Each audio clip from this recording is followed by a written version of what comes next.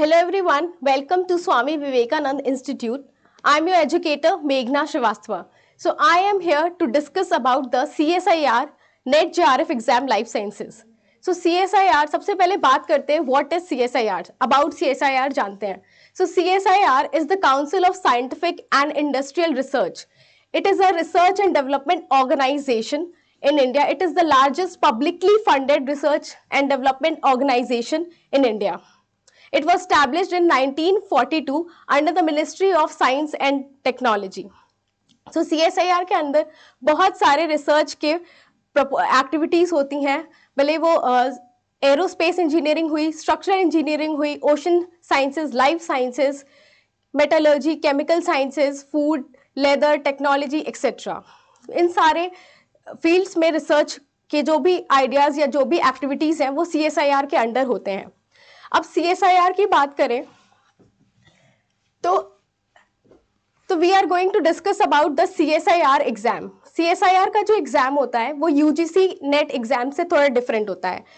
UGC exam और C S I R exam दोनों exam provide करती है फेलोशिप टू द स्टूडेंट्स और ये जो एग्ज़ाम है, ये दो अलग एग्ज़ाम के थ्रू होता है. जो सी एस आई आर होता है, वो मेनली फोकस करता है पाँच साइंस की फ़ील्ड में which is chemical sciences, physical sciences, mathematical sciences, earth sciences and life sciences. So I am here to discuss about the life sciences. So CSIR and UGC provide research fellowship for training in methods of research under the expert guidance of faculty members, scientists working in university de department, national laboratories and institutions in various fields of science. Joint CSIR UGC NET fellowship are tenable in universities, IITs, postgraduate colleges, government research establishment including those of the CSIR and public and private sectors. तो CSIR जो होता है और C S I R and UGC दोनों ही एक exam conduct कराते हैं which is national eligibility test ये एग्ज़ाम क्वालिफाई करके आप जूनियर रिसर्च फेलोशिप आपको प्रोवाइड की जाती है और इस फेलोशिप से आप किसी भी आईआईटी में पीजी पोस्ट ग्रेजुएट कॉलेजेस में यूनिवर्सिटीज में आप पीएचडी के लिए एनरोल कर सकते हैं। एनरोलमेंट के बाद आपको एक स्टाइपेंड प्रोवाइड किया जाता है of thirty seven thousand initially which is the junior research fellowship एक ही एग्ज़ाम से दो कट ऑफ़ निकलता है। जो C S I R exam ले रही, लेती है, उसमें एक एग्ज़ाम से दो कट ऑफ़ निकलता है। एक जे आर एफ़ का होता है, उससे थोड़ा सा कम नंबर पे लेक्चरशिप का कट ऑफ़ निकलता है जिसको हम नेट क्वालिफाइड बोलते हैं। तो जो so cut off is the basic minimum number of marks जो कि आपको चाहिए एग्ज़ाम को क्वालिफाई करने के लिए। सो so, जो भी स्टूडेंट जेआरएफ का कट ऑफ़ क्रॉस करता है उसको जेआरएफ प्रोवाइड uh, मिलता है। और जो भी असिस्टेंट uh, प्रोफेसर के लिए uh, जो भी मिनिमम कट ऑफ़ को क्रॉस करता है, उसको असिस्टेंट प्रोफेसरशिप या लेक्चरशिप के लिए वो एलिजिबल होता है। ये एक एलिजिबिलिटी क्राइटेरिया है। ये एक डिटरमाइन करता है जो सीएसआईआर और यूजीसी दोनों जो डिफरेंट एग्ज़ाम्स ले रहे हैं, वो एक एलिजिबिलिटी एग्ज़ाम है। आप किसी भी सी एस आई आर के रिसर्च इंस्टीट्यूट गवर्नमेंट जो फंडेड रिसर्च इंस्टीट्यूट है, वहाँ से भी आप पीएचडी के लिए एनरोल कर सकते हैं। रिसर्च के लिए आप एनरोल कर सकते हैं। अगर आपने जेआरएफ का कट ऑफ़ क्रॉस किया और जेआरएफ क्वालिफाई किया है। उसके बाद बात आती है कि एलिजिबिलिटी क्राइटेरिया क्या होगा। तो एलिजिबिलिटी की बात करें, अगर आपने B S four years program BE BTech B pharma MBBS integrated BS MS MSc और इक्विवेलेंट डिग्री बीएससी ऑनर्स और इक्विवेलेंट डिग्री होल्डर्स और students enrolled in integrated MS PhD program with at least 55% without and uh, rounding off marks for general and uh, economically weaker section and 50% for OBC, ST, ST and third gender and with person with disability. तो अगर आपका आपने ये भी जो जो भी यहाँ पर रिटर्न एग्ज़ाम के क्राइटेरिया है एलिजिबिलिटी क्राइटेरिया है अगर आपने एमएससी किया है या कुछ भी इक्विवेलेंट बीएस किया है फोर इयर्स का, या आप बीई e है बीटेक है एमबीबीएस है इंटीग्रेटेड पीएचडी है तो आप इस एग्ज़ाम के लिए एलिजिबल हैं with minimum criteria of 55 percent fifty percent marks जो है आपके होने चाहिए। और अगर आप, ये जनरल और जनरल ईडब्ल्यूएस के लिए इकोनॉमिकली वीकर सेक्शन मगर अगर आप ओबीसी से है और एस सी एस टी और फिजिकली डिसेबल्ड है तो आप उस तरीके से आपका 50 50 परसेंट मार्क्स में ही आपको uh, आप रिक्वायर्ड होता है for eligibility criteria for sitting in the exam मतलब एग्ज़ाम में बैठने के लिए इतना मिनिमम एलिजिबिलिटी आपकी होनी चाहिए। अब ये जो joint C S I R UGC NET test होता है ये साल में दो बार होता है। एक बार जून में होता है, एक बार दिसंबर में होता है। यूजुअली ऐसे ही होता है।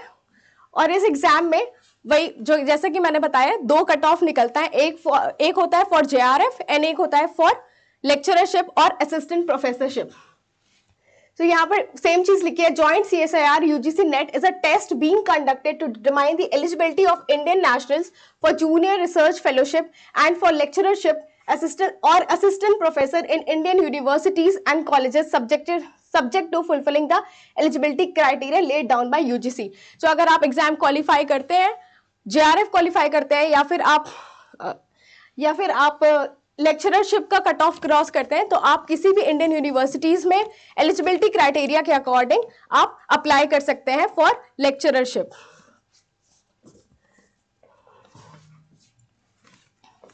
अब फोकस करते हैं, you C S I R का एग्ज़ाम जो लाइफ साइंसेस के लिए होता है। लाइफ साइंसेस का जो एग्ज़ाम होता है, उस एग्ज़ाम का पेपर जो है, उसका पैटर्न काफ़ी डिफरेंट होता है than the UGC exam UGC exams usually क्या होता है आर्ट के सब्जेक्ट्स के लिए होता है। लेकिन सी एस आई आर जो है, वो पाँच साइंस के सब्जेक्ट्स के लिए होता है and which is one of the subject is life sciences so life sciences में तीन पार्ट होते हैं पेपर में, जो कि थ्री आवर्स का पेपर होता है वन एट्टी मिनट्स का। जो फ़र्स्ट पार्ट है that is the A part इस पार्ट में ट्वेंटी क्वेश्चन आते हैं, जिसमें से आपको fifteen any fifteen question attempt करने होते हैं। फिफ्टीन एक क्वेश्चन के लिए आपको टू मार्क्स अवॉर्ड किया जाता है, और अगर आप नेगेटिव करते हैं तो उस पर आपके पॉइंट फाइव मार्क्स डिडक्ट होता है। तो टोटल आपको थर्टी मार्क्स जो है टू हंड्रेड में ये पार्ट आपका कवर करता है। फिर बात करते हैं पार्ट बी की। Part B and part C ये आपके सब्जेक्ट का होता है that is the life science की सब्जेक्ट ही है तो ये मेरा लाइफ साइंस का ही होता है ये पार्ट जिसमें पार्ट बी में मल्टीपल चॉइस क्वेश्चंस होते हैं 50 क्वेश्चंस होते हैं and out of 50 questions you have to attempt 35 questions and one questions for one questions you will be awarded two marks and one and point five marks will be deducted if the answer is wrong so same चीज़ है कि two marks और minus five minus point five ये होता है आपका part B का। Part B में जो क्वेश्चन होते हैं, वो स्ट्रेट अवे क्वेश्चन होते हैं। विद चार ऑप्शन होंगे तो आपको वो स्ट्रेट अवे आएगा या नहीं आएगा, आप उसी अकॉर्डिंग वो अटेम्प्ट करते हैं और जिसमें मैक्सिमम आपको 35 अटेम्प्ट करने होते हैं। वही पार्ट सी की बात करें पार्ट सी में आउट ऑफ़ 75 क्वेश्चंस आपको 25 क्वेश्चंस करने होते हैं। ये पार्ट जो होता है, ये this part is design to test the candidates knowledge of scientific concept and of application of the scientific concept ये आपके सब्जेक्ट के साइंटिफिक कॉन्सेप्ट्स को और उसके एप्लीकेशंस को टेस्ट करने के लिए होता है। ये थोड़े से इसमें एनालिटिकल क्वेश्चंस आते हैं, थोड़े अप्लाइड क्वेश्चंस आते हैं, जिसमें आपका थोड़ा सा ज़्यादा दिमाग यूज़ होता है। The question shall be of any analytical nature where a candidate is expected to apply the scientific knowledge to arrive at the solution of a given scientific problem, ठीक है? ये आपके सिलेबस से ही होता है, बस थोड़ा सा इसमें अप्लाइड और एनालिटिकल क्वेश्चंस होते हैं स्टेटमेंट बेस्ड क्वेश्चंस होते हैं और इसमें मैच द कॉलम्स यूजुअली आते हैं और इसमें से आपको 75 में से 25 करना होता है। ये क्वेश्चंस जो होते हैं एक क्वेश्चन फोर मार्क्स का होता है और अगर आप रॉन्ग कर रहे हैं तो उसमें माइनस वन डिडक्ट होता है। तो so, ओवरऑल हर एक पार्ट में आपका 25 परसेंट जो है नेगेटिव मार्किंग में कटता है। अब सिलेबस की बात करते हैं। तो अगर लाइफ साइंसेस की सिलेबस की बात करें तो उसमें टोटल 13 यूनिट्स हैं। First unit, first unit is molecules and their interactions relevant to biology. So so, पहला यूनिट जो है वो molecules and their interactions relevant to biology इसको ही हम बायोकेमिस्ट्री के नाम से जानते हैं। ये बायोकेमिस्ट्री की यूनिट है। इसमें अभी मैं डिटेल में डिस्कस करूँगी। फिर सेलुलर ऑर्गेनाइजेशन जिस ये यूनिट टू है इसको सेल बायोलॉजी भी बोलते हैं। फिर है फंडामेंटल प्रोसेसेस ये यूनिट थ्री है इसको मॉलिकुलर बायोलॉजी बोलते हैं। Fourth is cell communication and cell signalling. इसमें आपका कैंसर बायोलॉजी, सेल सिग्नलिंग और इम्यूनोलॉजी सारा पार्ट आता है। उसके बाद है डेवलपमेंटल बायोलॉजी ये फिफ्थ पार्ट है। फिफ्थ यूनिट है आपका। Six unit is plant physiology systemic physiology plant seven is system physiology animal eight है इनहेरिटेंस बायोलॉजी इसको जेनेटिक्स भी बोलते हैं। And ninth is the diversity of the life forms इसमें डाइवर्सिटी पढ़ना है टेक्सोनॉमी वगैरह पढ़ना है। टेंथ है ecology ecology, ecological principles and eleventh is evolution evolution and behaviour evolution के बारे में पढ़ना है। Twelve is applied biology and third thirteenth is the methods in biology usually ये दोनों यूनिट साथ में ही पढ़ाया जाता है। So these two units usually cover होता है साथ में। ठीक है? सो ये आपका बेसिक एक सिलेबस है, जो पार्ट ए है, उसमें एक जनरल एप्टीट्यूड और रीजनिंग के क्वेश्चंस होते हैं। वो उसमें आपको सिर्फ़ 15 करने होते हैं। उसका भी यहाँ मैंने मेंशन नहीं किया है बट मैं आपको नेक्स्ट क्लास में प्रोवाइड कर दूँगी। ये फ़र्स्ट यूनिट है, इसको थोड़ा डिटेल में डिस्कस कर लेते हैं। ये first unit is molecules and their interactions relevant to biology ये हमारा बायोकेमिस्ट्री की यूनिट है। इसमें structure of atoms molecules and chemical bonds तो ये एक बेसिक आपको नॉलेज होना चाहिए जस्ट बिकॉज़ कि ये लाइफ साइंस है और हमारी बॉडी में जितने रिएक्शंस होते हैं, उसमें ये बॉन्डिंग्स वगैरह आपको पता होनी चाहिए। जैसे अगर बात करें प्रोटीन की तो उसमें अमीनो एसिड्स है तो उसकी बॉन्डिंग कौन सी है, कौन सा स्ट्रक्चर है तो उसमें एक पूरा एक केमिस्ट्री आ जाती है। तो उसके लिए आपको एक knowledge basic knowledge about the structure of atoms molecules chemical bonds ये सब आपको पता होना चाहिए। इसलिए ये इस यूनिट में ये मैंशनड है। सेकेंड इज़ द बी है composition structure and fundamentals functions of biomolecules अब जो बायोमोलिक्यूल्स जैसे कि कार्बोहाइड्रेट्स हो गया लिपिड हो गया protein nucleic acid and vitamin इसका कॉम्पोजिशन कि ये किस चीज़ों से मिलके बना है? स्ट्रक्चर एंड फ़ंक्शंस इसको पढ़ना है। C is the stabilising stabilising interactions van der Waals electrostatic hydrogen bonding hydrophobic interactions etcetera जितने भी इंटरक्शंस पाए जाते हैं, सारे जो मॉलिक्यूल्स इतने कंपाउंड्स वगैरह पाए जा रहे हैं तो आपस में वो किससे, कैसे इंटरेक्टेड है, कौन सी बॉन्डिंग पाई जा रही है तो ये सारी चीज़ें इस इस पार्ट में पढ़नी है। उसके अलावा पीएच का नॉलेज बफर का रिएक्शन काइनेटिक्स थर्मोडायनेमिक्स ठीक है? तो ये सारी चीज़ें भी हम पढ़ते हैं। रिलेटिव टू द बॉडी मतलब आपकी बॉडी के ही रिलेशन में पढ़ते हैं। ये केमिस्ट्री uh, मतलब बायोकेमिस्ट्री आपकी बॉडी से रिलेटेड है ठीक है? फिर बायो एनर्जेटिक्स में सारा जो एनर्जेटिक्स uh, का पार्ट आता है जैसे कि रेस्पिरेशन हो गया और ऑक्सीडेटिव फॉस्फोरिलेशन ग्लाइकोलिसिस जितने भी पाथवेज हैं जितने भी मेटाबॉलिज्म वाली चीज़ें हैं, वो यहाँ पढ़नी है। इसके अलावा आपको एंजाइम्स के बारे में पढ़ना एंजाइम काइनेटिक्स पढ़ना है एंजाइम का रेगुलेशन मैकेनिज्म कैटलिसिस आइसोजाइम्स ये सारी चीज़ें पढ़नी है। इसके अलावा प्रोटीन का स्ट्रक्चर प्रोटीन का primary secondary tertiary quaternary structure होता है। तो सेकेंडरी स्ट्रक्चर में आपका Ramachandran plot secondary structure domains क्या होते हैं मोटिव क्या होते हैं, इसके बारे में पढ़ना है। जो फोल्ड्स होते हैं फिर nucleic acid that is DNA and RNA इसमें A DNA B DNA Z DNA T RNA micro RNA ठीक है? Stability of protein and nucleic acid metabolism of carbohydrate lipid amino acid nucleotide and vitamin so ये आपका unit one में cover होता है ये portion which is the biochemistry second unit is cellular organisation इसको cell biology से भी पढ़ते हैं। इसमें आपको प्लाज्मा मेम्ब्रेन का स्ट्रक्चर फ़ंक्शन ठीक है? जिसमें प्लाज्मा मेम्ब्रेन का पूरा स्ट्रक्चर जो उसका ट्रांसपोर्टेशन है कैरियर प्रोटीन चैनल प्रोटीन्स वो सारी चीज़ें transport membrane pumps mechanism of sorting regulation of intercellular transport जो भी सॉर्टिंग है प्रोटीन सॉर्टिंग वगैरह, ये सारी चीज़ें भी यही डिस्कस होती है। जो भी मेम्ब्रेन की, जो प्लाज्मा मेम्ब्रेन की इलेक्ट्रिकल प्रॉपर्टीज़ है जस्ट बिकॉज़ चार्ज आयंस अंदर सेल के अंदर और बाहर डिफरेंस क्रिएट हो जाता है तो उसमें जो इलेक्ट्रिकल प्रॉपर्टीज़ जनरेट होंगी, वो सारी चीज़ें। फिर जो भी इंट्रा सेलुलर ऑर्गेनल्स हैं, जैसे cell wall nucleus mitochondria Golgi body lysosome endoplasmic reticulum peroxisome plastid vacuoles chloroplast structure इन सबका स्ट्रक्चर और फ़ंक्शंस साइटोस्केलेटल और उसकी मोटिलिटी ठीक है? ये सारी चीज़ें इस यूनिट में डिस्कस होती है। फिर यहाँ पर पार्ट सी है। ये यूजुअली यूनिट थ्री में डिस्कस होता है which is organisation of gene chromosome operon unique and repetitive DNA interrupted gene gene families structure of chromatin and chromosome heterochromatin euchromatin transposon ये यूजुअली यूनिट थ्री में cover होता है क्योंकि वहाँ पर बाकी डीएनए का पार्ट पढ़ रहे होते हैं। बाकी जो रेप, रेप्लीकेशन है ठीक है और ट्रांसक्रिप्शन है ट्रांसलेशन है तो उसमें ही ये भी पार्ट कवर हो जाता है। बस जस्ट बिकॉज़ वहाँ भी क्रोमोजोम का स्ट्रक्चर आएगा वहाँ भी जीन आएगा तो ये चीज़, ये part usually C part is discussed in the unit three ठीक है which is the molecular biology या फंडामेंटल प्रोसेसेस तो ये पार्ट वहाँ पढ़ते हैं। यहाँ जो पढ़ना है, मैं वो बता रही हूँ। सेल डिविजन ठीक है सेल साइकिल ठीक है चेक पॉइंट्स ठीक है, कि कोई एरर है कि नहीं।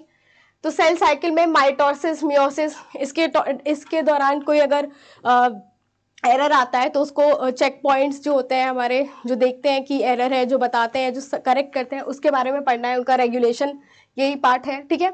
Steps of cell cycle regulation and control of cell cycle ठीक है? जितना भी कंट्रोल है रेगुलेशन है वो सारा ये आ, उसी में आता है ठीक है? फिर माइक्रोबियल फिजियोलॉजी ठीक है? बैक्टीरिया का ग्रोथ ईल्ड कैरेक्टरिस्टिक स्ट्रैटेजीज ठीक है? Division and stress response stress में कैसा बिहेव करता है? बैक्टीरिया आर्की बैक्टीरिया इसका थोड़ा बहुत पार्ट इस यूनिट में डिस्कस होगा। तो this is all about the unit two which is cellular organisation और सेल बायोलॉजी अब fundamental process is the molecular biology ठीक है? इसमें आता है डीएनए का रेप्लीकेशन डीएनए का रेप्लीकेशन आएगा। डीएनए का डीएनए रेप्लीकेशन रिपेयर रिकॉम्बिनेशन ठीक है? ये सारा प्रोकैरियोटिक और यूकैरियोटिक दोनों पढ़ना है। इसके अलावा जो भी यहाँ पर डीएनए का डैमेज है रिपेयर मैकेनिज्म है, ठीक है? और जितने तरह का रिकॉम्बिनेशन है यहाँ पर होमोलॉगस भी है साइट स्पेसिफिक ये सारा नेम मैंशनड है, ये सारी चीज़ें डिस्कस होगी। फिर आरएनए की सिंथेसिस ठीक है? आरएनए की प्रोसेसिंग वही ट्रांसक्रिप्शन ठीक है? ट्रांसक्रिप्शन फैक्टर्स और मशीनरी ठीक है? फिर आरएनए जब बनता है तो उसकी स्टेबिलिटी को बढ़ाने के लिए उसमें कैपिंग की जाती है, ठीक है? कैपिंग पॉलीएडिलेशन ये सारे मॉडिफिकेशन ठीक है? R R N M R N A T R N A ये सबका डिस्कस होगा। इसके बाद वही प्रोटीन सिंथेसिस प्रोसेसिंग राइबोसोम का फॉर्मेशन ठीक है? हम जान रहे हैं प्रोटीन सिंथेसिस में राइबोसोम बहुत बड़ा पार्ट प्ले करता है तो उस राइबोसोम के बारे में डिस्कशन ठीक है? फिर इनिशिएशन फैक्टर्स जो भी इनिशिएशन फैक्टर्स यहाँ यूज़ होंगे, ठीक है? अमीनो एसिलेशन क्या होता है? टीआरएनए का टीआरएनए की identity amino acylation T R amino acyl tRNA synthetase ये एंजाइम ठीक है? ट्रांसलेशनल प्रूफ रीडिंग ठीक है? तो ये सारी चीज़ें क्या है? इनहिबिटर्स क्या है, ठीक है? और modification translational modification of proteins protein बनने के बाद उसमें क्या मॉडिफिकेशन होते हैं? ये सारी चीज़ें हमें इस यूनिट में डिस्कस करनी है। फिर control of gene expression transcription translation level पे। जैसा कि मैंने बताया कि यू कैरियोट और प्रो कैरियोट दोनों के बारे में यहाँ पर डिस्कस होगा। ठीक है? यहाँ पर जीन साइलेंसिंग और सारी चीज़ें यहाँ पर मैंशनड है। इसके बाद इस fourth unit which is cell communication and cell signalling ठीक है?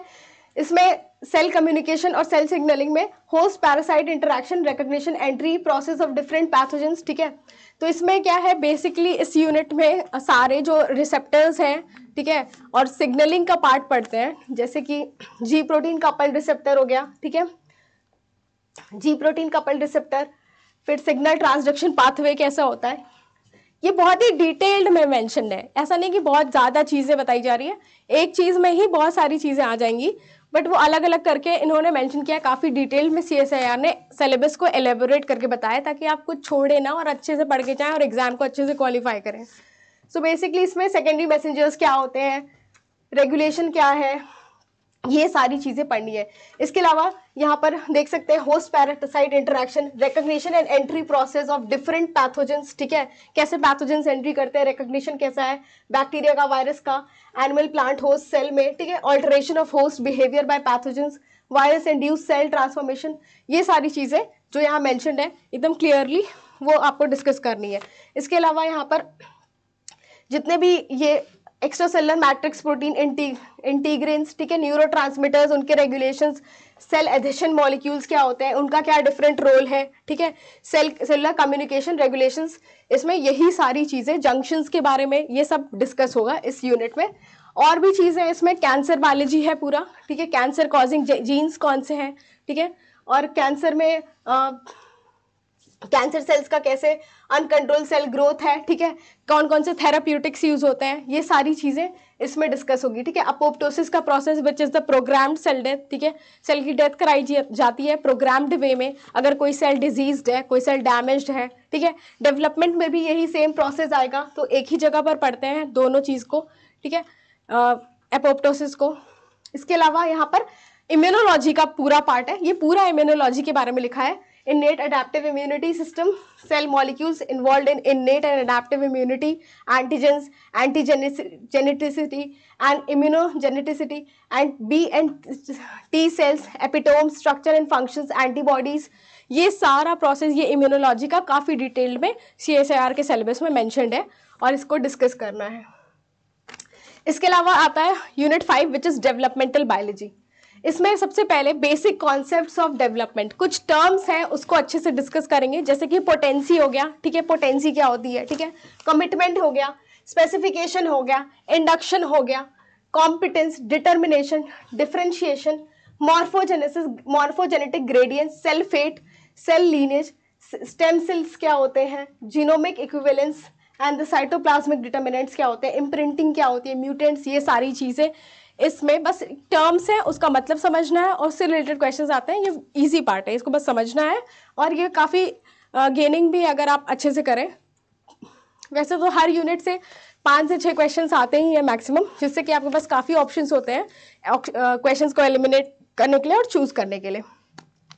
इसके अलावा गेमेटोजेनेसिस फर्टिलाइजेशन अर्ली डेवलपमेंट इसमें सारे जर्म लेयर्स ठीक है क्लीवेज के बारे में स्पर्म एग रिकॉग्निशन इससे भी क्वेश्चन आते हैं, ठीक है? सी अर्चिन का पढ़ना है ह्यूमन का पढ़ना है, ठीक है? एम्ब्रियोनिक सैक का development double fertilisation in plants अब जब डेवलपमेंट पढ़ रहे हैं लाइफ साइंस में तो एनिमल का भी पढ़ेंगे और प्लांट का भी पढ़ेंगे, ठीक है? तो double fertilisation in plants zygote का फॉर्मेशन कैसे होता है, ठीक है? क्लीवेज ब्लास्टुला ये सारे रिलेटेड है और एक साथ ही पढ़े जाते हैं. Embryonic field gastrulation formation of germ layers in animals ठीक है? Embryogenesis establishment of symmetry of plants ठीक है? तो प्लांट्स का भी साथ साथ है, कैसे सीड का फॉर्मेशन हो रहा है, कैसे जर्मिनेशन हो रहा है, ये सारी चीज़ें डिस्कस होती है इस डेवलपमेंटल बायोलॉजी में। इसके अलावा यहाँ पर पढ़ना है डिक्टोस्टीलियम एम्फीबिया सी एलिगेंस और सी अर्चिन इन सब के बारे में कुछ कुछ पार्ट पढ़ना है ऑफ़ मॉर्फोजेनेसिस एंड ऑर्गेनोजेनेसिस ठीक है? Cell aggregation and differentiation in Dictyostelium तो डिक्टोस्टीलियम का कैसे सेल एग्रीगेट होता है और कैसे उसमें आगे डिफ्रेंशिएशन होता है, ठीक है? कैसे स्पोर बनता है, कैसे फिर स्टॉक स्टेज आती है, ये सारी चीज़ें इसमें पढ़नी है। Axis pattern formation of Drosophila ठीक है? सो ड्रोसोफिला का पैटर्न फॉर्मेशन उसकी बॉडी के जितने भी सेगमेंट्स हैं एक्सेस हैं, ये सारी चीज़ें इसमें पढ़नी है। फिर आई लेंस इंडक्शन, ठीक है, आई लेंस कैसे फॉर्मेशन होता है, लेंस का कैसे इंडक्शन होता है, ठीक है, ये सारी चीज़ें इसमें डिस्कस होगी। लिम का डेवलपमेंट ठीक है रीजनरेशन पढ़ना है।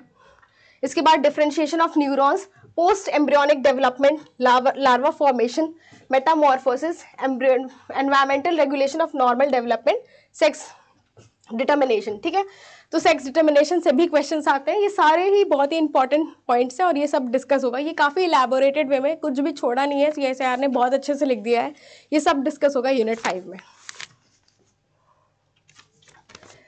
फिर इसमें यूनिट फाइव में एक यहाँ पर डी पार्ट है morphogenesis and organogenesis in plants जैसे कि मैंने कहा कि डेवलपमेंट पढ़ना है एनिमल का भी और प्लांट का भी।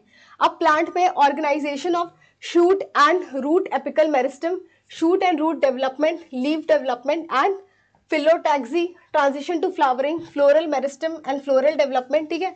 ये सारी चीज़ें पढ़नी है। और इसमें भी जो कि डेवलपमेंट में भी प्रोग्राम सेल डेथ या फिर अपोप्टोसिस का प्रोसेस पढ़ना होता है क्योंकि डेवलपमेंट में भी बहुत सारे सेल्स के जब एम्ब्रियोनिक डेवलपमेंट हो रहा होता है तो बहुत सारे सेल्स का वहाँ भी डेथ कराया जाता है। जैसे कि प्रॉपर शेप के लिए proper you know embryonic development में और टैडपोल uh, में ये सारी चीज़ें अब डिस्कस होगी किसमें सेम चीज़ में एजिंग सेनेसेंस ये सब एक साथ अब बात करते हैं फिजियोलॉजी की प्लांट फिजियोलॉजी प्लांट फिजियोलॉजी बहुत ही अच्छा टॉपिक है, बहुत ही स्कोरिंग टॉपिक है। इसमें भी फोटोसिंथेसिस फोटोसिंथेसिस का सब कुछ, ठीक है? C three cycle C two cycle C four cycle ये सारी चीज़ें। इसके बाद कैम साइकिल ठीक है? और जेड स्कीम ठीक है? और भी जो भी रेड इफ़ेक्ट होते हैं, ठीक है? रेड ड्रॉप ये सारी चीज़ें इसमें डिस्कस होगी। फिर नाइट्रोजन मेटाबॉलिज्म ठीक है? नाइट्रोजन मेटाबॉलिज्म सब कुछ डिस्कस होगा। Nitrification nitration ammonification denitrification ठीक है? नाइट्रोजन फिक्सेशन ये सारी चीज़ें। और जितने भी एंजाइम्स यूज़ होते हैं, उसका स्ट्रक्चर उसकी सारी चीज़ें यहाँ पर डिस्कस होंगी। और यही चीज़ यहाँ पर मैंशनड भी है। Nitrate and ammonia assimilation amino acid biosynthesis ठीक है? तो अमोनिया जो कि यूज़ हो रहा है तो अमीनो एसिड अमोनिया से ही बनता है। प्लांट हॉर्मोन्स के बारे में डिस्कस करना है। Plant hormones eight types of plant hormones है ठीक है? उनकी biosynthesis storage break down and transport physiological effects mechanism of action ठीक है? सेंसरी फोटोबायोलॉजी ठीक है? स्ट्रक्चर जितने भी लाइट uh, डिपेंडेंट जो भी सेंसरी प्लांट uh, में सिस्टम uh, है उसके बारे में डिस्कस होगा। जैसे फाइटोक्रोम हो गया ठीक है? फाइटोक्रोम्स के बारे में क्रिप्टोक्रोम्स के फोटोट्रोपिन्स स्ट्रोमेटल मूवमेंट इनकी वजह से स्ट्रोमेटा में क्या मूवमेंट होती है, ठीक है? फ़ोटो पीरियोडिज्म का प्रोसेस बायोलॉजिकल क्लॉक प्लांट में कैसे होता है, ठीक है? Just because of sensory phototropin में सब आएगा। फिर प्लांट हॉर्मोन्स है यहाँ पर। प्लांट हार्मोन में सेम चीज़ बायोसिंथेसिस ब्रेक डाउन ट्रांसपोर्ट ये सब सेंसरी फोटोबायोलॉजी में structure mechanism of action of phytochrome यही चीज़ दोबारा लिख दी गई है, ठीक है? अब बात करते हैं सल्यूट ट्रांसपोर्ट और। तो जाइलम फ्लोएम में जो प्लांट में ट्रांसपोर्ट होता है, फ़ूड का ट्रांसपोर्ट, ठीक है? उसमें ट्रांसपोर्टर्स के नेम, उसमें ट्रांसपोर्टर्स कैसे होते हैं? कौन सा मैकेनिज्म होता है, ठीक है? कौन से मोस्ट एक्सेप्टेड थियोरी है? थियोरीज वगैरह, फिर प्रोसेस ऑफ़ ऑस्मोसिस डिफ्यूजन ये सारी चीज़ें इसमें डिस्कस होंगी। फिर सेकेंडरी मेटाबोलाइट्स जो प्लांट में सेकेंडरी मेटाबोलाइट्स टर्पीन्स होते हैं फिनॉलिक्स होते हैं, ठीक है? एल्केलॉइड्स होते हैं, ये सारी चीज़ें इसमें बायोसिंथेसिस उनकी, उनका फ़ंक्शन उनके टाइप्स वगैरह सब डिस्कस होगा। इसके बाद स्ट्रेस फिजियोलॉजी में जो प्लांट स्ट्रेस ए बायोटिक और बायोटिक स्ट्रेस होते हैं प्लांट के, वो पढ़ना है। फिर हमारा है सेवेंथ फिजियोलॉजी ठीक है? इसमें ब्लड एंड सर्कुलेशन में ब्लड कॉर्पसल्स के बारे में haemopoiesis formation of formed elements ठीक है? प्लाज्मा मेम्ब्रेन का function plasma function sorry plasma function blood volume blood volume regulation ठीक है? Blood group haemoglobin immunity haemo haemostasis ठीक है? फिर कार्डियोवेस्कुलर सिस्टम सारे पंप ब्लड प्रेशर्स ये सारी चीज़ें जो भी सर्कुलेशन uh, के रिलेटेड uh, है वो इसमें पढ़नी है। रेस्पायरेटरी ठीक है? कंपैरिजन पढ़ना है रेस्पिरेटरी डिफरेंट स्पीसीज का रेस्पिरेटरी स्पीसीज का। एनाटॉमिकल कंसिडरेशन ट्रांसपोर्ट गैसेस का पढ़ना है। नर्वस सिस्टम में न्यूरॉन्स के बारे में ठीक है? एक्शन पोटेंशियल क्या होता है ठीक है? तो ये सारी चीज़ें। Brain spinal cords C N S P N S ये सारी चीज़ें इसमें पढ़नी है। फिर सेंस ऑर्गन में विजन हियरिंग ठीक है टेक्टाइल रिस्पॉन्स ये सारी चीज़ें हमारी सेवेंथ में। और एक्सक्रीटरी सिस्टम में आता है कंपेरेटिव इसमें भी कंपेरेटिव डिफरेंट एनिमल्स का एनिमल फाइलम में डिफरेंट सेक्रीशन फिर किडनी का यूरिन फॉर्मेशन कैसे होता है ठीक है? यूरिन का कंसेंट्रेशन एलिमिनेशन कैसे है इलेक्ट्रोलाइट का बैलेंस एसिड बेस ये पूरा वेल well, अच्छे से अंडरस्टूड है। फिर थर्मो रेगुलेशन कैसे होता है? बॉडी का टेम्परेचर ठीक है? ये सारी चीज़ें stress adaptation digestive system endocrine hormones ये सारी चीज़ें unit seven which is animal physiology में डिस्कस होगी। Eight is the inheritance biology ये हमारा जेनेटिक्स का पार्ट है। Mendelian genetics concept of genes ठीक है? मेंडेलियन प्रिंसिपल जैसे को डोमिनेंस इनकम्प्लीट डोमिनेंस जितने इंटरक्शन है कॉम्प्लीमेंट्री टेस्ट ठीक है? और sex linkage sex limited sex influenced characters ठीक है? फिर जीन मैपिंग मेथड्स ठीक है? लिंकेज मैप्स क्या होते हैं? टेट्राड एनालिसिस ठीक है? ऑक्टार्ड ठीक है? Mapping with molecular markers mapping with using somatic cell hybrids ये सारी चीज़ें बहुत ही पढ़ने में बहुत इंटरेस्टिंग है और ये सारी चीज़ें यहाँ डिस्कस होंगी। एक्स्ट्रा क्रोमोसोमल इनहेरिटेंस ठीक है? जो माइटोकॉन्ड्रिया का या जो क्लोरोप्लास्ट का जो जीन है मैटरनल इनहेरिटेंस है ठीक है जो स्नेल वगैरह का पढ़ते हैं वो यहाँ पर पढ़ना है। फिर माइक्रोबियल जेनेटिक्स के बारे में पढ़ना है ठीक है कॉन्जुकेशन का प्रोसेस ट्रांजेक्शन का प्रोसेस तो काफ़ी स्कोरिंग आप ये है अगर आप सही करते हैं तो आपको अच्छे मार्क्स मिलते हैं बिकॉज़ ये मोर ऑफ़ क्वेश्चन फॉर्मेट में आता है। uh, तो जब मैं क्वेश्चंस डिस्कस करूँगी तब ये बहुत ईजिली हो जाएगा। फिर ह्यूमन जेनेटिक्स में पेडिग्री एनालिसिस पेडिग्री सब कुछ, ठीक है? और फैमिली का लॉट स्कोर क्या होता है? लिंकेज टेस्टिंग के लिए कैरियोटाइपिंग ठीक है? क्वांटिटेटिव क्यूटीएल्स क्या है? क्यूटीएल मैपिंग ठीक है? पॉलीजेनिक इनहेरिटेंस उसके फॉर्मूलाज वगैरह, वो सारी चीज़ें। म्यूटेशंस म्यूटेशंस का पार्ट डिस्कस होता है मॉलिकुलर बायोलॉजी में, ठीक है? म्यूटेशंस को पूरा तरीके से मॉलिकुलर बायोलॉजी में डिस्कस करना है। इसके बाद क्रोमोजोम का, ये जो क्रोमोजोम में अगर कोई किसी तरह का डिलीशन हो गया डुप्लीकेशन हो गया ठीक है इन्वर इन्वर्जन ट्रांसलोकेशन प्लॉयडी ये सारी चीज़ें recombination recombination is again studied in unit three so recombination mutation और यूनिट थ्री में जो कि मॉलिकुलर बायोलॉजी था फंडामेंटल प्रोसेसेस वहाँ पढ़ते हैं। फिर है unit nine which is diversity of life forms इसमें principles and methods of taxonomy ठीक है, ये थोड़ा इजी ही यूनिट है। ठीक है? और इसमें स्पीसीज का हायराकी ठीक है? बायोलॉजिकल नॉमन वगैरह प्लांट का एनिमल का लेवल ऑफ़ स्ट्रक्चरल ऑर्गेनाइजेशन ठीक है? टिश्यू का organ organ system comparative phylums में और फैमिलीज़ में डिविजन्स में, ठीक है? फिर outline classification plant animal micro and microorganisms का, ठीक है? Different classification in each taxons classification, plant, animals, microorganism, evolutionary relationship among taxa, ठीक है? फिर natural history and Indian subcontinent थोड़ा बहुत ये पार्ट भी आता है, ठीक है? जिसमें मेजर हैबिटेट टाइप्स क्या कौन कौन से सब कॉन्टिनेंट्स हैं, ठीक है? जोग्राफिकल ओरिजिन्स ठीक है? स्पीसीज की माइग्रेशन ये सारी चीज़ें डिस्कस करनी है। फिर उसके बाद है, थोड़ा एग्रीकल्चर इंपॉर्टेंस और हेल्थ का थोड़ा सा पार्ट है जिसमें पैरासाइट्स के बारे में पैथोजेंस के बारे में, ये सारी चीज़ें हैं। And last part is the endangered species के बारे में कंजर्वेशन स्ट्रैटेजीज तो ये इकोलॉजी में भी डिस्कस हो जाता है और यहाँ भी मैंशन है। फिर ecological principles which is ecology इसमें क्या पढ़ते हैं? एनवायरमेंट के बारे में, ठीक है? जो भी फ़िज़िकल एनवायरमेंट है बायोटिक ए बायोटिक एनवायरमेंट है, थोड़ा सा उसका पार्ट उसके बाद हैबिटेट क्या होता है? नीच क्या होता है? ठीक है स्पीसीज के इंटरेक्शंस क्या है? आर के सिलेक्शन क्या है? ठीक है, कैसे होते हैं? एज पिरामिड्स पॉपुलेशन ठीक है? पूरी पॉपुलेशन इकोलॉजी इसमें पढ़नी है। पॉपुलेशन इकोलॉजी में आता है। पॉपुलेशन के कैरेक्टर्स पॉपुलेशन ग्रोथ कर्व्स वगैरह आते हैं। ठीक है? अगेन ये बहुत स्कोरिंग है। बहुत थोड़ा कंपेरेटिवली ईजी यूनिट है। फिर स्पीसीज का interaction types of interaction interspecific competition क्या है? हर्बीवोरी कार्निवोर्स ठीक है? पॉलिनेशन सिम्बाइसिस ये सारी चीज़ें। फिर कम्युनिटी स्ट्रक्चर ठीक है? कम्युनिटी में जो भी मैकेनिज्म्स होते हैं, जैसे एज इकोटोन्स हो गया, ठीक है? कम्युनिटी का structure levels of species diversity measurement फिर ecological succession type of primary secondary climax community ये सारी चीज़ें इसमें इकोलॉजी में ही आती है।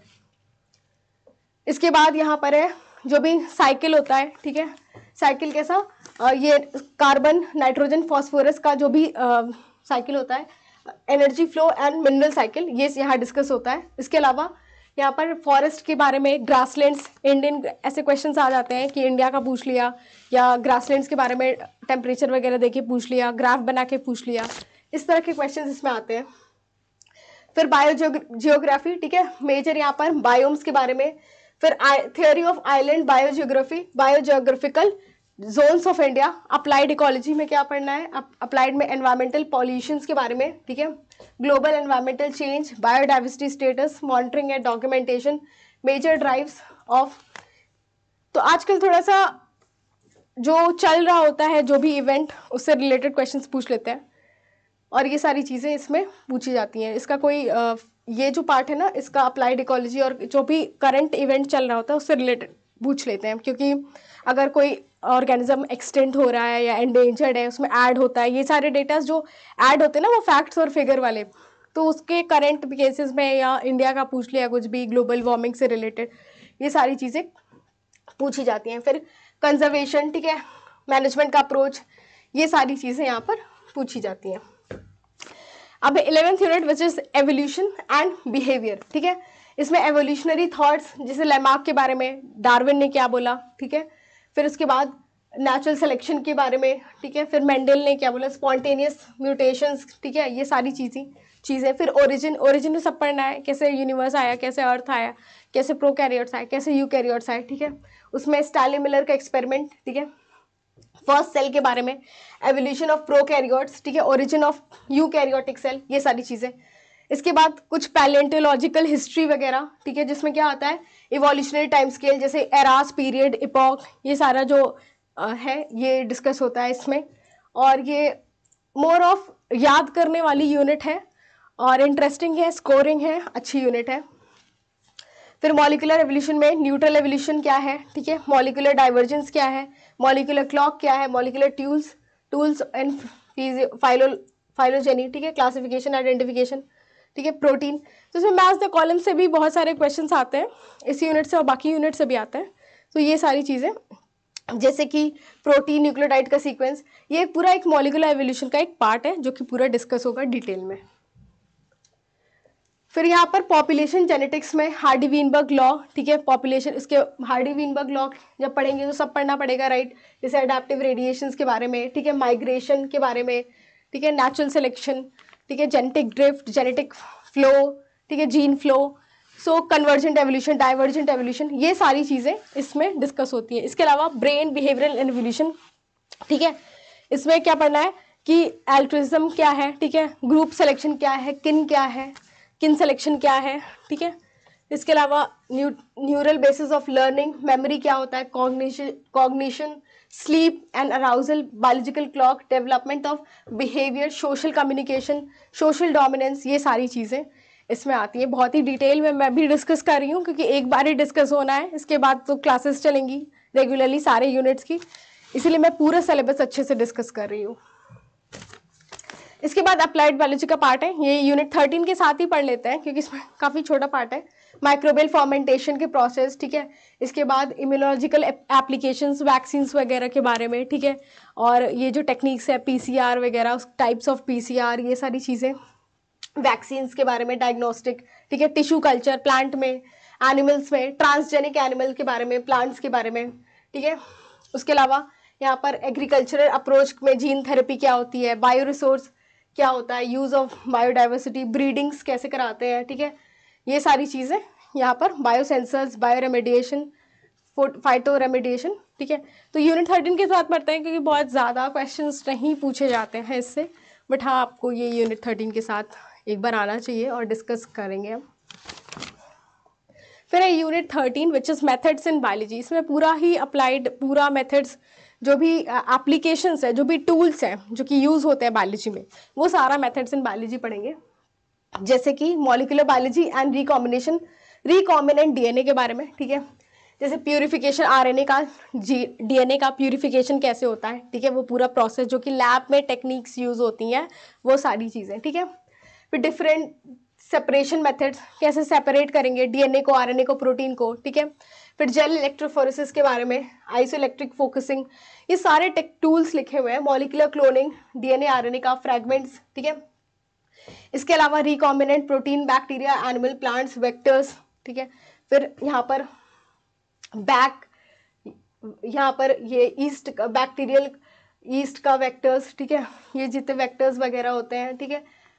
तो ये सारी चीज़ें डीएनए सीक्वेंसिंग प्रोटीन मॉडिफिकेशन ये सारी चीज़ें जो भी हमारे ये मॉलिकुलर मार्कर्स के पार्ट हो गए R F L P R A P D A F L P techniques हो गए, ठीक है? माइक्रो आर ए ये सारे छोटे जितने भी पार्ट हैं, ये सब एक साथ डिस्कस करेंगे और ईजी है।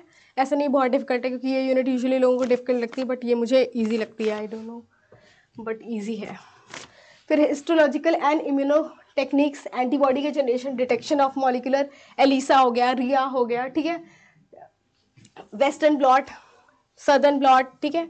और नॉर्दर्न ब्लॉट ठीक है? इम्यूनोलॉजिकल माइक्रोस्कोपी फ़िश जिश ये सारे जो टेक्निक्स हैं, ये सारे टेक्निक्स हैं, ये सारे लैब में यूज़ होते हैं, ठीक है? अलग अलग तरीके से। और बायोफिजिकल मेथड्स में, जैसे मॉलिकुलर एनालिसिस यूवी वेज यहाँ पर स्पेक्ट्रोस्कोपी मैकेनिज्म एनएमआर हो गया, ठीक है? स्पेक्ट्रोस्कोपी यहाँ पर यूज़ होती है, जितने भी एक्सरे डिफ्रैक्शन ये सब डिस्कस होगा। स्टैटिस्टिकल मेथड में थोड़े से ये बायोस्टैट्स का पोर्शन भी आता है इसमें, जिसमें क्या पढ़ते हैं? कि बायनॉमियल पॉइजन और नॉर्मल ये सारा जो डिस्ट्रीब्यूशन है, ठीक है? इसके अलावा यहाँ पर T test analysis of variance ठीक है? यहाँ पर chi square test basic introduction of multivariate statistics तो ये सारी चीज़ें यहाँ पर स्टैटिस्टिक्स के भी एक दो कुछ क्वेश्चन यहाँ आते हैं एग्ज़ाम में। इसके बाद रेडियो लेबलिंग टेक्निक्स ये सारे टेक्निक्स हैं, बस अलग अलग नाम से और बहुत ही डिटेल में मेंशन किया है सीएसआईआर ने। जस्ट बिकॉज़ क्योंकि अगर आप रिसर्च में जाएँगे तो आपको ये सारी चीज़ें पता होनी चाहिए। और अगर आप क्वालिफाई कर लेंगे और कहीं जाएँगे इंटरव्यू के लिए तो भी आपसे इस इस पोर्शन से ही पार्ट पूछा ज़्यादा पूछा जाता है। ठीक है रेडियो लेबलिंग टेक्निक्स ठीक है? डिटेक्शन मेज़रमेंट ठीक है? क्वेश्चंस हर पार्ट से पूछा जाता है बट ये पार्ट जो कि लैब में यूज़ होगा तो ये पार्ट आना चाहिए डेफिनेटली आना चाहिए। ठीक है? Radioisotope normally use in biology तो ये माइक्रोस्कोपिक टेक्निक्स ठीक है? सो ये सारी चीज़ें अगेन जितने भी टेक्निक्स हैं, इसके बारे में इंफॉर्मेशन नॉलेज ठीक है, आपको पता होना चाहिए, और उसके फिर क्वेश्चन आपके, और ये हमारे सी एस आई आर की साइड से लिया गया है, ठीक है? सो सॉरी यार। Yes, so this was all about the syllabus अब एग्ज़ाम के स्ट्रैटेजी क्या है क्लियर करने की? So unit thirteen total thirteen units हैं, जिसमें बहुत ही इलेबोरेटेड है, बहुत सारी चीज़ें पढ़नी है।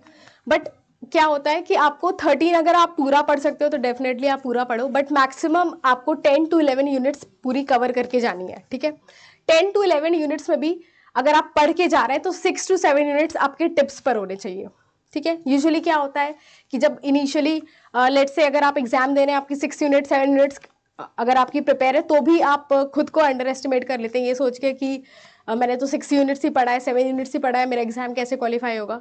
नहीं होगा। पहले ही आप मान लेते हैं बट ऐसा नहीं है। आप उसमें भी कर सकते हैं। अगर आप उसमें एक्सेलेंस अपना पहले से ही बहुत अच्छे से प्रिपरेशन कर लें क्वेश्चन प्रैक्टिस करना, ये सारी चीज़ें अगर आप कर लें तो वो भी आप उसमें भी सेलेक्ट कर सकते हैं क्वेश्चंस को और क्वालिफाई कर सकते हैं। तो टेन टू इलेवन यूनिट्स तो मिनिमम पढ़नी है। इसमें भी सिक्स टू सेवन यूनिट्स एकदम पॉइंट्स पर होनी चाहिए। और इसके अलावा प्रीवियस ईयर क्वेश्चंस ये आपका सबसे अच्छा जो प्रैक्टिस के लिए है, वो प्रीवियस ईयर क्वेश्चन है। आप अगर कई राउंड्स लगा लेते हैं, मैं ये नहीं कह रही हूँ आपको क्वेश्चंस को लर्न करना बट आपको सीखना है, आपको टेक्निक सीखनी है, आपको पैटर्न सीखना है। क्योंकि आपसे अभी क्या रिसेंट बोलते हैं कि पैटर्न चेंज हो गया एग्ज़ाम का पैटर्न चेंज हो गया। बट ऐसा नहीं है कि पैटर्न ही चेंज हो गया। हाँ उन्होंने थोड़ा सा स्टैंडर्ड बना दिया है। हर बार स्टैंडर्ड बनाएँगे, क्योंकि ऑब्वियसली बात है सेलेक्ट करना है और इतना बड़ा एग्ज़ाम है। आपको इंडिया में इतने सी एस आई आर जो कि इतना बड़ा इंस्टीट्यूट इतना बड़ा ऑर्गेनाइजेशन आपको अगर हायर कर रहा है, अगर आपको जे आर एफ़ प्रोवाइड कर रहा है, या फिर आपको, आप असिस्टेंट प्रोफेसर के लिए भी एलिजिबल हो रहे हैं तो अच्छा एग्ज़ाम अच्छा पेपर ज़रूर बनाएँगे। तो उसके लिए है कि आप पी वाई क्यूज़ लगाइए प्रीवियस ईयर क्वेश्चन आप उसको समझिए, एक बार, दो बार, तीन बार, कई बार आप लगाइए थ्रू आउट और अपने नोट्स पढ़िए। डेली रिविजन करिए और पी वाई क्यूज लगाइए। बस यही उसका एक स्ट्रैटेजी है, क्योंकि जब भी आप पी वाई क्यू लगाएँगे, आपको हर बार एक नया वर्ड दिखाई देगा। उस नए वर्ड को आप ढूंढेंगे, ये कहाँ से पूछा है। तो इससे आप क्लोज जाते हैं एग्ज़ाम के, ठीक है? तो ये सारे टेक्निक्स आपको यूज़ करके आपको अपना एग्ज़ाम क्वालिफाई करना है। कल से मैं यूनिट स्टार्ट करूँगी पढ़ाना भी यूट्यूब पे ही। And thank you for today's class and see you tomorrow thank you so much